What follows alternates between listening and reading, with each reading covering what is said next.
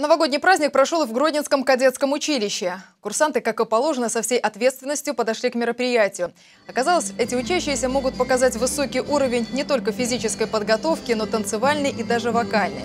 Как и на всех новогодних праздниках, кадетов ждали подарки и Дед Мороз со Снегурочкой. У нас было много добрых достижений. Мы участвовали в различных конкурсах, в различных интересных э, мероприятиях. Наши кадеты в этом году в Зубренке тоже отличились неплохо, заняли призовые места по волейболу, по легкой атлетике, по стрельбе.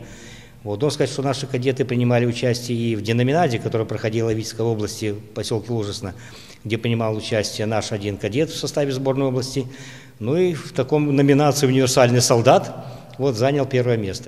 Здесь у нас мы проводим постоянные мероприятия и поздравления. Наше областное кадетское училище. Но они дружат с школой, школьниками 22-й, которая тоже здесь находится. Поэтому я сегодня поздравлю и ребят кадетского нашего училища, и школьников 22-й школы с наступающим Новым годом. Что я пожелаю им ребятам? Они молодые, у них вся жизнь впереди. Это наше будущее Республики Беларусь кадетском училище – это будущие силовики наши, офицеры вооруженных сил, погранвойск, милиции.